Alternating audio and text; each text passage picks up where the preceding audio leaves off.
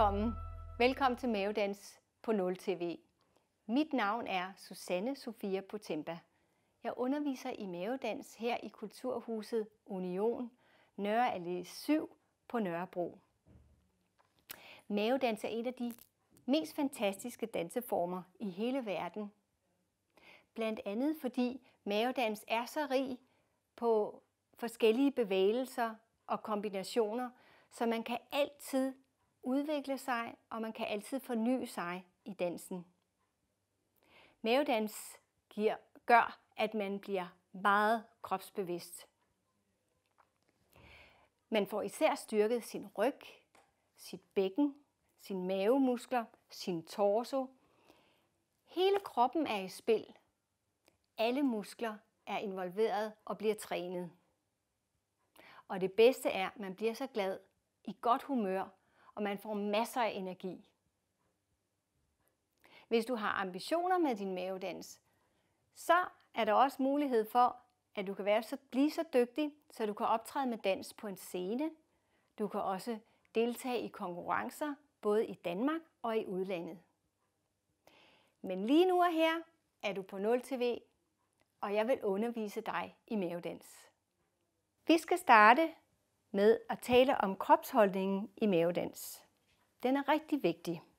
Du starter med at mærke din, begge dine fodflader. Du har vægten i din hæle, ydersiden af foden, forfoden og tæerne. Og så hvis du forestiller dig ligesom et træ, så er rødderne, det er vores fødder. Det er meget vigtigt, at vi har en god øh, styrke i dem, i fødderne. Så vi mærker virkelig vores gulv, så vi bliver stærke. Så går vi lidt længere op, af, så vi er op ved knæene, og der har vi et lille knæk på knæet, ligesom en træstamme, det er vores ben her. Så kommer vi lidt længere op her, og der har vi så vores bækken, og der tipper vi bækken en lille smule op her, sådan så vi bliver lidt flad herom bagved. Og så går vi lidt længere op, så tager vi brystkassen, løfter brystkassen, og vi tager armene ude, skuldrene er nede, og vi har en lige rank ryg. Så det er i hvert fald rigtig vigtigt. Så skal vi starte her. I dag så vil du lære nogle bevægelser, og så bagefter så sætter vi dem sammen, og så er, bliver det så til en lille dans, en lille trommesolo. Så, men vi starter her med hofterne her. Så du danser med mig her og bevæger dine hofter op og ned, og det der styrer det, det er faktisk her omkring hasemusklerne. Og husk kropsholdningen. Men ellers så bare tænk på vrik med numsen, fordi det er bedre at slappe af, end at være i dit hoved. Så her siger vi skiftervis, bruger også dine ben, siger vi op og ned med hofterne her. Og så kan vi gå lidt frem og tilbage. Og husk din kropsholdning, brystkassen er løftet. Og så kan vi også lige gå rundt her. Og så rundt på den anden side. Vi behøver ikke at fylde så meget, så du kan flytte en stol i din stue, og du kan sagtens være der. Så når jeg så står her, så siger jeg skiftevis 1, 2, 1, 2, 1, 2, 1, 2, og så siger jeg dobbelt hastighed. 1, 2, 1, 2, 1, 2, 1, 2, 1, 2, 1, 2, og dobbelt hastighed. 1, 2, 1, 2, 1, 2, 1, 2, 1, 2, 1, 2, 1, 2. Og så ryster jeg med mine hofter. Så det er noget, du skal gøre i tid og utid, fordi så får man varmen. Og især her, hvis det er vinter, så har vi brug for rigtig meget varme. Så der ryster du bare. Det kan man gøre. Man kan træne, når man står og venter på bussen. Op og ned skiftevis. Jeps. Og så igen her kan vi bevæge hofterne. Og så kan vi lige stå stille. Fordi nu skal vi ryste med vores skuldre. Så her holder jeg på mine hofter. Albuerne er lige ude, de er ikke bagud. Og så siger vi skiftevis, at vi bevæger skuldrene frem og tilbage. 1, 2, 1, 2, 1, 2, 1, 2. Og vi kan bare gøre det blødt her, så du slapper af. Og man kan også gøre det markeret her. Ja. Så det her, det skal vi lige gøre med musik til.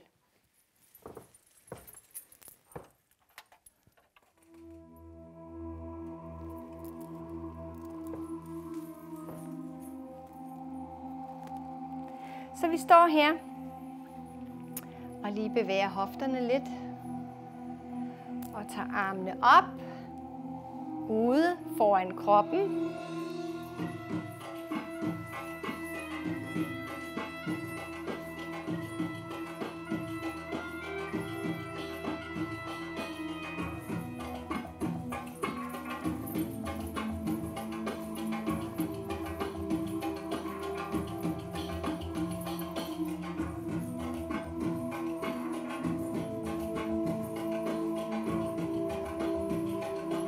Jeps. Og så gør vi det, at vi siger her. 1, 2, 3, 4 og ryst. 1, 2, 3, 4 og ryst. 2, 3, 4. 1, 2, 3, 4 og ryst. 1, 2, 3, 4 og ryst. 1, 2, 3, 4 og ryst.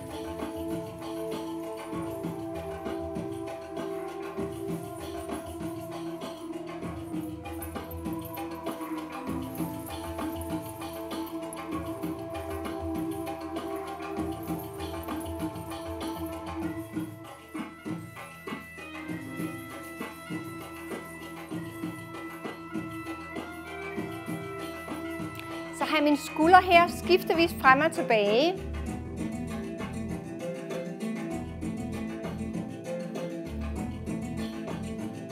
Kan jeg tage min arme ud her. Så løfter jeg den ene hæl, så jeg hele tiden har løftet hæl, og den anden fod er på flade. Så læner jeg mig lidt frem.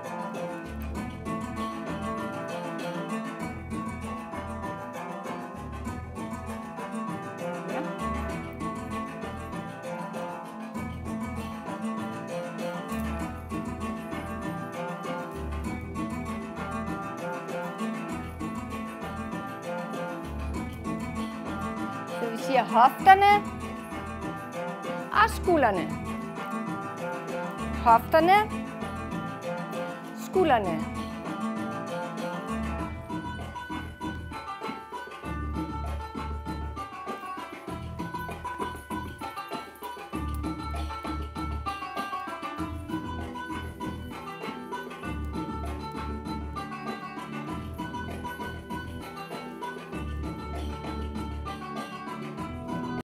Nu skal vi lige lidt videre.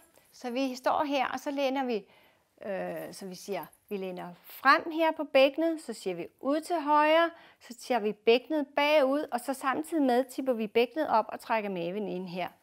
Her, og så går vi ud i venstre side, så vi siger frem, højre, bagud til venstre. Frem, højre, bagud til venstre. Frem, højre, bagud til venstre. Frem, venstre, bagud til højre. Frem, venstre, bagud til højre. Og når vi har gjort det lidt, så kan vi, så kan vi faktisk tegne en vandret cirkel. Så hvis jeg starter over i venstre side, så siger jeg venstre, frem og over mod højre. Og så hvis jeg fuldgør cirklen, så går jeg bagud og så ender i venstre. Så jeg siger frem, rundt. Så jeg starter faktisk cirklen her i venstre balle. Frem og rundt og frem og rundt. Og det kan jeg også gøre i den anden side. Så siger jeg her frem og rundt og frem og rundt. Og så kan vi også lave en halvcirkel, og det er faktisk det, vi skal gøre. Så her skal du lytte godt efter. Så er jeg over i højre side, så laver jeg en frem, og så over mod venstre.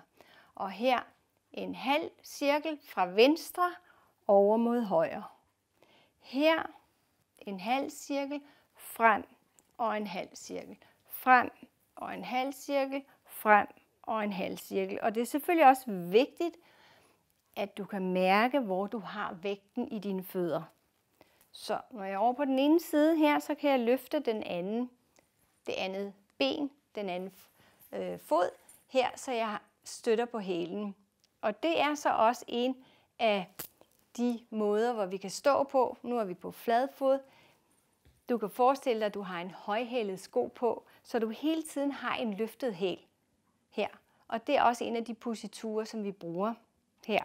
Så vi siger her, frem, og så løfter vi op, frem, og så løfter vi op. Frem, og løfter foden op her, så vi hele tiden, så vi er på to. Yes. Godt. Så her, og her, og her. Meget fornemt. Når vi så har den her fodpositur, hvis jeg siger, venstre fod er flad, og jeg løfter højre hæl og støtter på fod, forfoden, så kan jeg så bevæge min højre hofte. Så jeg siger op, ind og ned. Op og ned, op og ned, op og ned, op og ned. Og så kan jeg så bestemme mig for, om jeg vil have fokus på op eller ned. Så jeg siger op, op, op, ned, ned, ned. Og hele tiden er hælen løftet, og forfoden er lidt foran den anden fod af hensyn til kropsbalancen. Så her der kan jeg sige op, op, op, skifter til den anden fod her. Så er det venstre fod, hvor jeg har løftet. Op, op, op, ned, ned, ned. Godt. Så vi vender mig lige med ryggen til her. Så siger jeg op, op, op, skift, op, op, op, skift, op, op, op, skift, op, op, op, stå. Så siger jeg hoften ned, ned, ned, ned, skift, ned, ned, ned. Det vil sige, at hoften går lidt op, ned, op, ned, op, ned, skift, op, ned, op, ned, op, ned, skift, op, ned, op, ned, op, ned. Jeps. Og så skal vi lige tilbage til den her, hvor vi siger hofterne, for ikke at glemme den hofteslag. Og så kan vi gå op på tær her. Og så stadigvæk, når vi er op på tær, så laver vi hofteslag. Ikke noget med, at vi hopper. Men hele tiden, jeg kunne faktisk sænke loftet her, og så vil jeg ikke støde mit hoved. Så her siger jeg 1, 2, 1, 2, 1, 2, 1, 2, 1, 2, 1, 2. Jeps. Rund, rund, rund, rund, rund. Og rund, rund, rund. Og når jeg ryster med mine hofter, så kan man også kalde det for shimmy. Så jeg laver shimmy på tær. Her. 1, 2, 1, 2, 1, 2, 1, 2, 1, 2, 1, 2. Og hvis man gerne vil have pulsen lidt op, så, så bare gør det frem og tilbage, når du går rundt i din stue. Så, det skal vi lige gøre med musik til.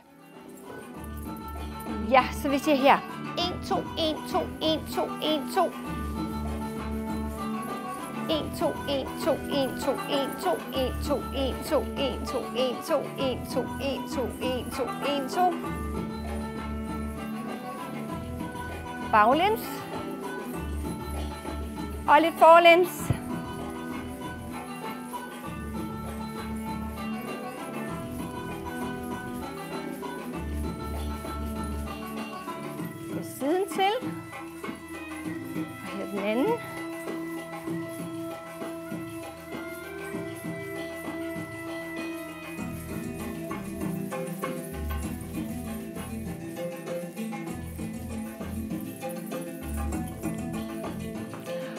Står vi her på flad fod her. Så siger vi frem, side, bagud, side. Så vi er her højre rundt, frem, side,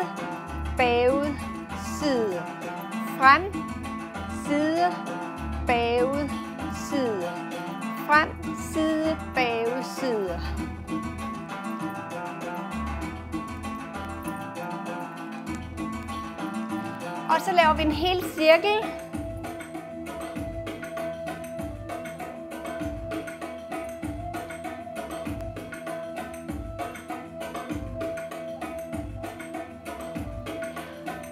Jeps. Og så tager vi også den anden vej. Vi har vægten i højre hofte og fod. Og så siger vi her, frem, side, bagud, side. Og så rundt.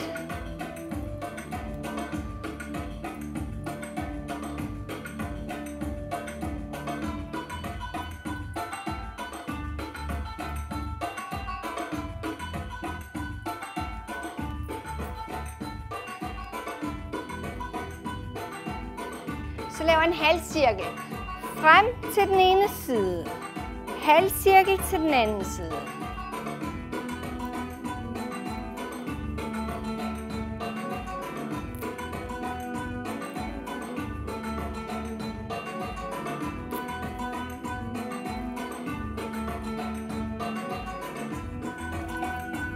Igen.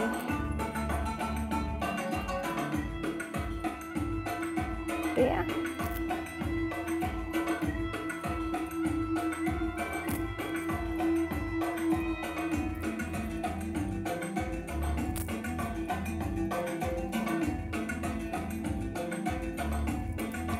Jeps. Ja. Vi skal også lige snakke om bryst, brystkassen her. Og brysterne, hvordan vi tager, vi tager brystet op og ned og op og ned. Og det gør vi ved hjælp af ribbensmusklerne og selvfølgelig også ryggen her. Så du kan godt være, at du trækker vejret hele tiden, og øh, enten, eller glemmer at trække vejret, men efterhånden, som man træner det her, så kan man trække vejret uden at tænke på, øh, hvordan man bevæger brystkassen. Så det går helt automatisk og nemt.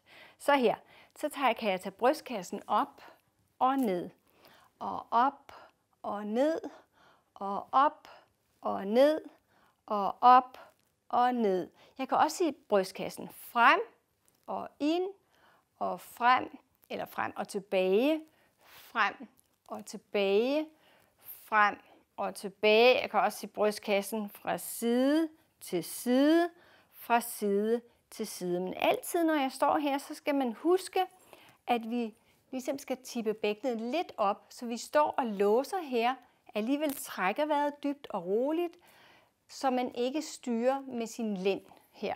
Men alle bevægelser bliver faktisk styret her foran, så fra mavemuskler og korsettet og alt. Så her, godt, så har vi op og ned og op og ned og op og ned. Og det er den, vi faktisk skal tænke på her. Så kan vi også gå til siden, så jeg tager et trin, samle, trin, samle, trin, samle. Og igen, 1, 2 og 3. Jeps, og så kan jeg lave et hofteslag samtidig med trin og trin. Og den anden side her, der og der og der. Ja, så tror jeg, vi har alle bevægelser forklaret.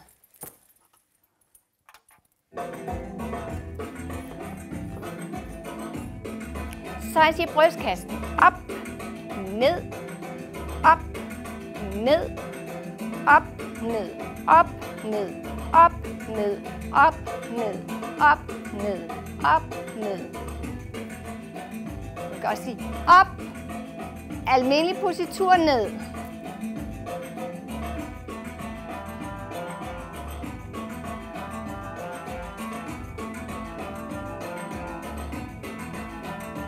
Og op, ned, op, ned. Ja, og så fra side til side.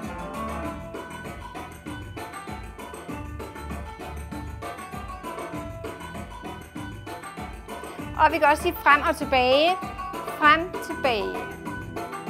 Frem, tilbage. Frem, tilbage. Frem, tilbage. Frem, tilbage. Frem, tilbage. Frem, tilbage. Jeps. Og skuldrene skal være helt stille. Det er kun brystkassen, der bevæger sig op, ned. Frem, tilbage, op, ned, frem, tilbage, op, ned, frem, tilbage, op, ned og skulderryst.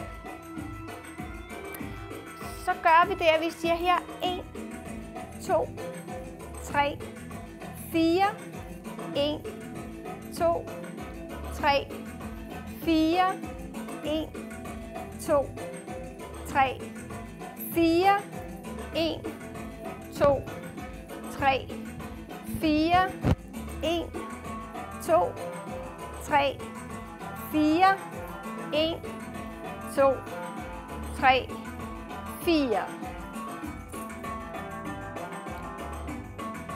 Og så siger vi her 1, 2, 3, 4, 1, 2, 3, 4, 1, 2, 3, 4, 1, 2, 3, 4. Og så løfter jeg højre hæl, så siger jeg op.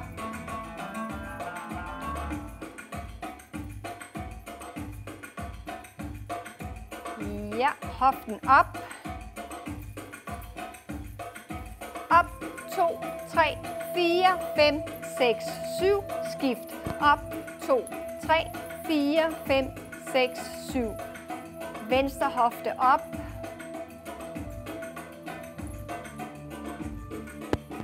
Hofte op. 1, 2, 3. Skift.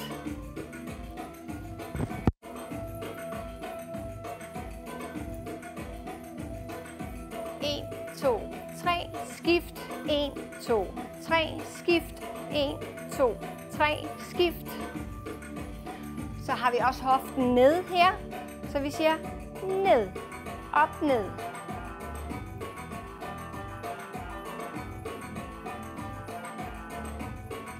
Og vi tager den anden hofte her. Ned, ned, ned, ned, ned, ned, ned. 1, 2, 3, skift.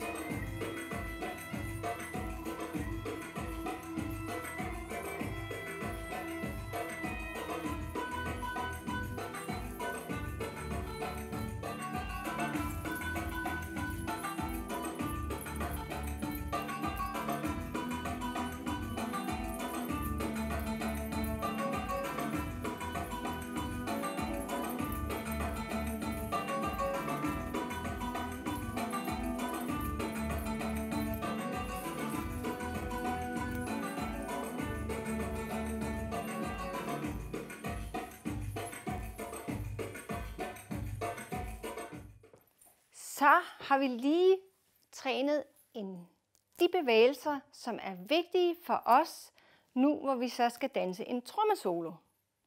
Så vi skal starte med, når vi hører trommesoloen, så starter vi bare her og står og ryster skuldrene lidt her.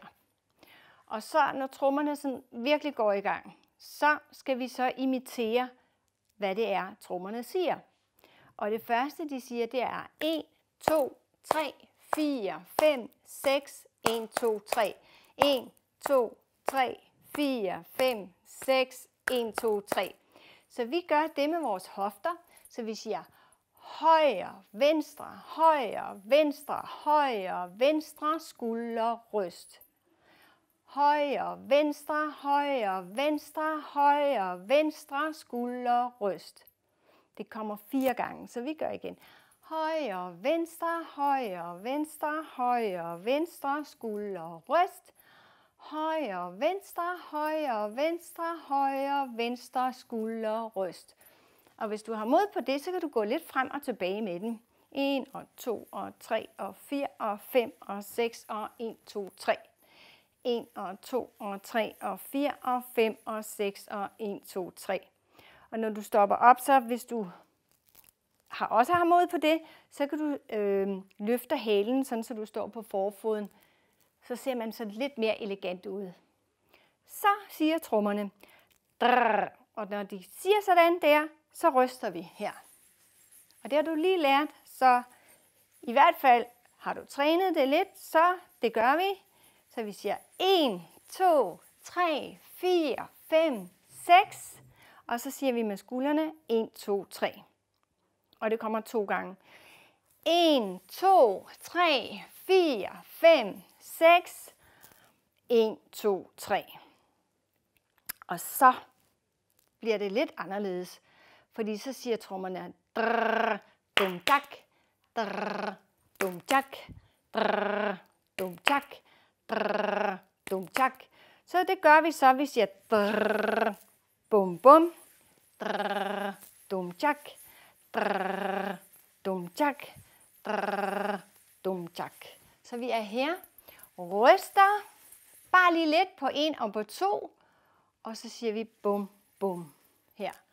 1 og 2 og 3 og 4. Der. Røst, bum, bum. Røst, bum, bum. Ja, når vi så har gjort det, så skal vi så bevæge brystkassen. Så vi siger her, op, ned, op, ned, op, ned, op, ned. Og så står vi så med vægten i venstre ben, og så laver vi en halv cirkel mod højre, og så gør vi sådan her. Vi har en positur. Og så siger vi brystkassen op, ned, op, ned, og så laver vi en halv cirkel mod venstre, og har den her positur, og løfter hælen her op. Så jeg gør det lige igen. Bryst op, ned, op, ned, en halv cirkel her. Bryst op, ned, op, ned, en halv cirkel her. Okay, så nu vender jeg mig lige om. Bryst, ja, bryst op, ned, op, ned, en halv cirkel her. Bryst op, ned, op, ned, en halv cirkel her. Okay, og så når vi har gjort det, så siger vi så højre hofte ned. 1, 2, 3, skifter til den anden. 1, 2, 3, skifter til den anden. Kun to gange her, så vi siger 1, 2, 3, og 1, 2, 3, og så stå her på flad fod. Når vi så har gjort det, så kan du huske, at vi havde den her op på tær, med hofterne op ned. Øh, så vi laver shimmy på tær, ryst på tær. Og det gør vi så, så vi siger 1, 2, 3, 4, 5, 6.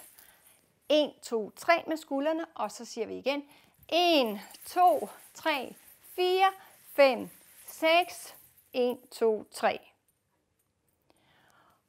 Og så når vi har gjort det, så siger vi så her.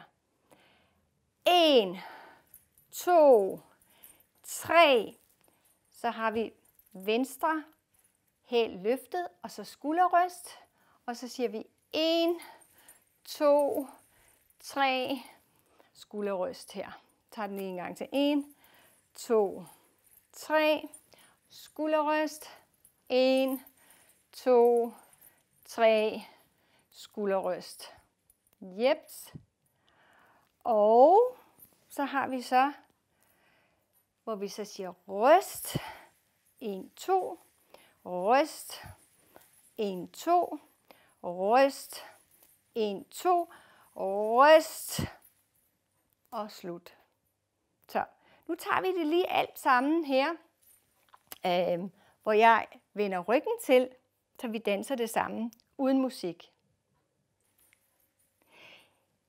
Nu er det lidt spændende, fordi nu skal vi sammensætte de bevægelser, jeg lige har gennemgået, sådan så vi får en, øh, sådan så vi kan danse en lille dans, en trommesolo. Og her er det vigtigt, at vi øh, fortæller det, eller gør det, som trommerne siger. Så nogle gange, når trommerne siger, drrr, så ryster vi. Drrr, jeps. Så vi starter med når musikken spiller, så kan vi starte med lidt skulderryst her. Og så når det virkelig går i gang, så gør vi det, at vi tæller. Så vi siger 1, 2, 3, 4, 5, 6, 1, 2, 3. 1, 2, 3, 4, 5, 6, 1, 2, 3. Hofte, hofte, hofte, hofte, hofte, hofte, skulder, skulder, skulder hofte, hofte, hofte, hofte, hofte, hofte, skulder, skulder, skulder. Det er det, vi gør. Fire gange. Og så når vi har gjort det, Så siger vi, gør lige igen. 1, 2, 3, 4, 5, 6, skulder, skulder, skulder. 1, 2, 3, 4, 5, 6, skulder, skulder, skulder. 1, 2, 3, 4, 5, 6, skulder, skulder, skulder. 1, 2, 3, 4, 5, 6, skulder, skulder, skulder. Så siger trommerne, drrr, og så ryster vi her og tæller til 6. Så vi siger 1, 2, 3, 4, 5, 6, 1, 2, 3. 1, 2, 3, 4, 5, 6 skulder, 1, 2, 3. Vi gør det to gange, så vi siger ryst, 2, 3, 4, 5, 6, 1, 2, 3, 1, 2, 3, 4, 5, 6, 1, 2, 3. Ja, og når vi så har gjort det, så siger trommerne drrr, bum bum, drrr, bum bum, fire gange. Røst, bum bum, røst, bum bum, røst, bum bum, røst, bum bum. Ja. Og så gør trommerne det, at de siger, øh, så vi skal lidt højere op her, så vi siger bryst op, ned, op, ned. Og så laver vi lige sådan en, en halv cirkel her, mod fra hvor vi er her, her, og så laver vi, så siger vi bryst op, ned, op, ned, og en halv cirkel mod venstre. Op, ned, op, ned, den vej, op, ned, op, ned, og en halv cirkel mod venstre her. Ja. Når vi så står her og har højre hæl løftet, så siger vi tre hofteslag ned. 1, 2, 3, skift. 1, 2, 3, stå. Igen. 1, 2, 3, skift. 1, 2, 3, stå. Og så kan du huske, at vi havde den her op på tær, shimmy på tær, hvor vi så siger 1, 2, 3, 4, 5, 6, skulderryst, 1, 2, 3, og venstre rundt, 1, 2, 3, 4, 5, 6, 1, 2, 3. Så går vi med siden her.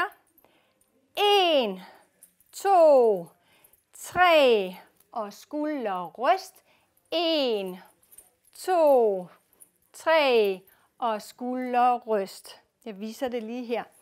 1, 2, 3 og skulder ryst. 1, 2, 3 og skulder ryst. Og så siger trommerne ryst, boink, boink, ryst, Boing, boing. tre gange. Ryst, Boing, boing. og så siger vi ryst. Og finito. Nu skal vi gøre det med musikken til. Det er lidt sjovere.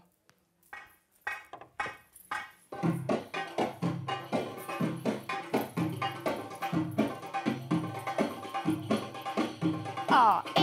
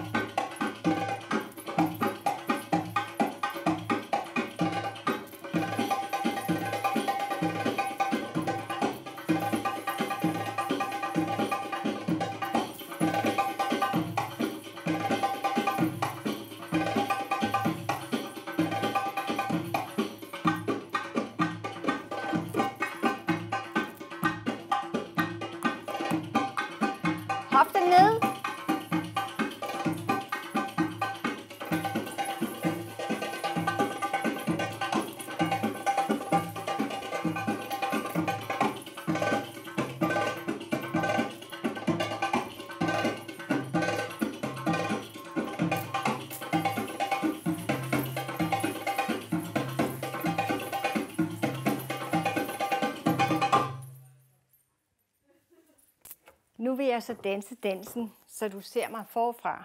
Det er rigtig godt.